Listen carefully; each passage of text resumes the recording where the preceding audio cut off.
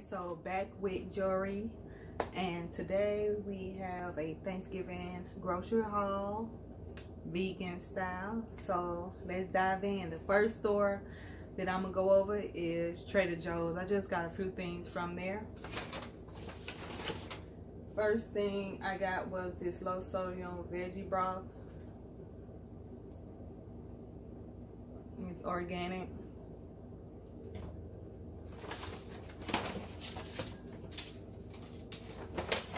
Thing, some bananas for um I'm making a vegan hummingbird cake, so that's what I need the bananas. And just one can of coconut milk, organic. Some stuff is organic.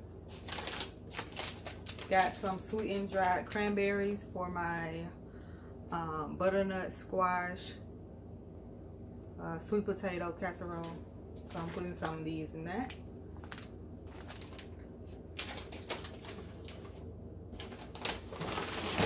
Next, I got some golden raisins for the same dish. And then for some oatmeal as well, because it's a lot of raisins. Next, I have some uh, pecan pieces for the hummingbird cake. So I'm gonna just dice these a little bit more. But it's raw pecan pieces. And last but not least, it's not really Thanksgiving related, but they had these um, hot chocolate sticks. So I wanted to try them, but it's a new um, product at Trader Joe's and you just stir it into some hot milk. So I figured that'd be fun to do Thanksgiving morning or whenever. So it's dark chocolate, hot chocolate sticks. Look delicious. Next, let's go for um, Publix.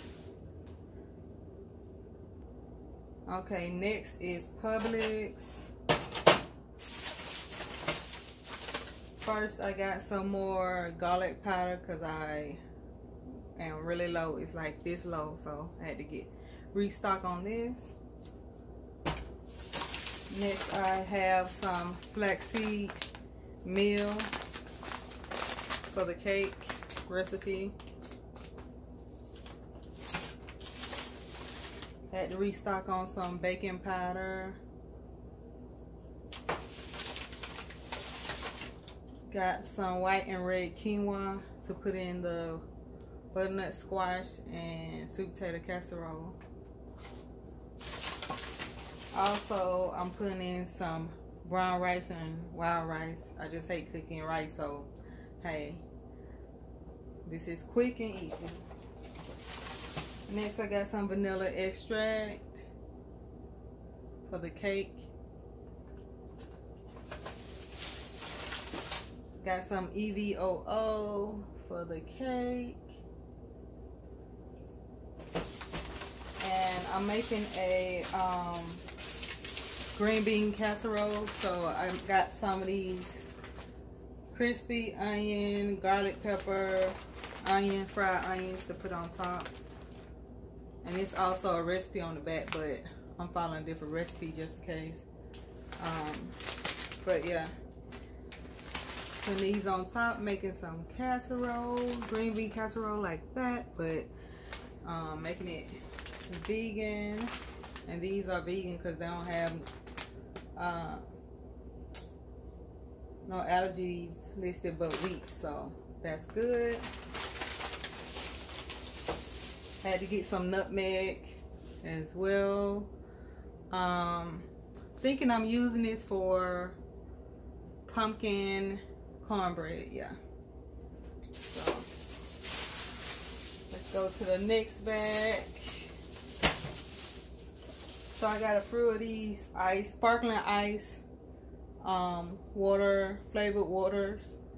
So I like to drink these. So I just got um, a lot of these. These pomegranate blueberry, peach nectar, and then the last flavor I got was kiwi strawberry.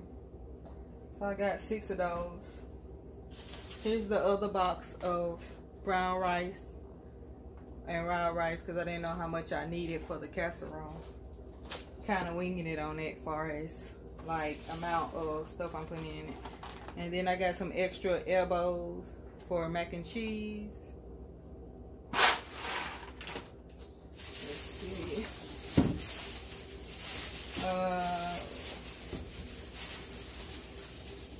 oh, and I got another um, flavor of ice. This is ginger lime. So that's it for that. Okay, let's go on to Whole Foods. Let's see. Let me bring you along over here. Bring you along. So let's see. I need some room put this stuff down.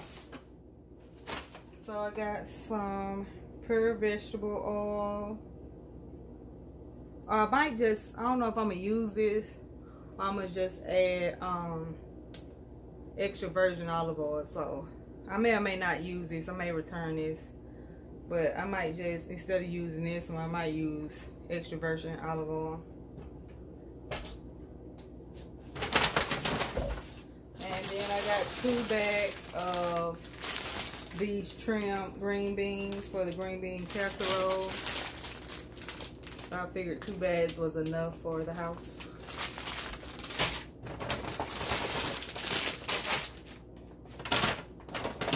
Next, I picked up some of this maple syrup. Um, for some recipe. Then I picked up two cans of, oh, I thought that was the same one. I picked up two cans of this jellied cranberry sauce uh, Thanksgiving really is the only time I eat cranberry sauce. So I picked up two cans and that's it for Thanksgiving. Now, just in case my vegetable um, sauce don't come out right, when I taste it, I did pick up this organic mushroom gravy and it's vegan. It says it on the front. So I'll be using that maybe too. And then I saw someone put um cheese in a green bean casserole. And I figured, and then they had this on sale. So I was thinking about adding this feta, little bit of feta cheese to the um, green bean casserole. So it's follow your heart. And I think they just came out with this. Um, and then they got like a blue cheese too, but I felt like the feta would be good. If I don't use it in there, I use it. Use it up. Next, I got two cans of this pumpkin puree. I'm making pumpkin cornbread, so I want to make two batches, so I'm going to do that. I got one can of crushed pineapples for the hummingbird cake. Then I picked up this organic, I mean, original cream cheese for the cake as well. Like the little frosting on top that I'm gonna make. And then I picked up three of these, is one over there. Three of these of these um butternut squash. They had a lot of different squashes there, but I just picked up butternut. All right, two more bags to go.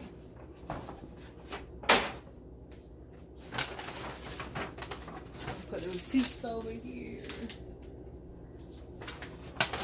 Next for the hot chocolate I picked up I picked up these um vegan marshmallows to go on top. Or if I want to like just make a sweet potato and then I can add little marshmallows on it. But I just picked these up just to try them with the hot chocolate. I feel like they'll be pretty good in them.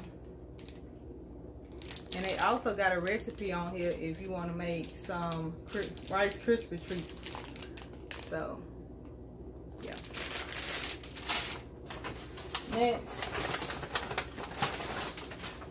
I got some coconut shreds for the cake.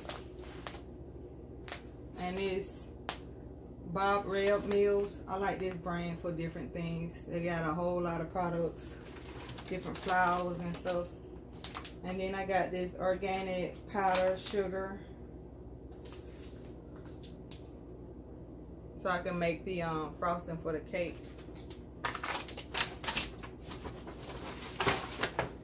Next, I picked up this Arrow Mills yellow corn Mill because my cornmeal is kind of um i got the what is this brand? I got the bob's red meal but it's kind of grainy because it's medium or something so i wanted this one because it's more finer. So i want that for my cornbread. No jiffy here boo just playing you know i grew up with jiffy so hey you use jiffy use jiffy next mac and cheese i'm using a Daiya uh, cheddar style deluxe mac and cheese. And I'm gonna add this into it to stretch it. So let's move on. Next, got some Violife uh, Cobalt, what is Cobalt Jet? Cobalt Jack cheese shreds. This is good. Just to add some more cheese to it. And for the different recipes, I got this good Karma flax unsweetened protein um, milk because I didn't want to add that vanilla flavor to like the um, green bean casserole and stuff like that. So I just got a plain unsweetened original no vanilla. Last but not least is this Gardein plant-based turkey roast. So I got this as a turkey substitute for Thanksgiving. So I wonder how many servings in this. Let's see. They say five. Well, this box not big enough talking about five. But that's it Thanksgiving. Let me know what you picked up or what you cooking for Thanksgiving. And I might show a few dishes on for Thanksgiving. Who knows? I'll let you I'll let you marinate on it and then I'll check you later.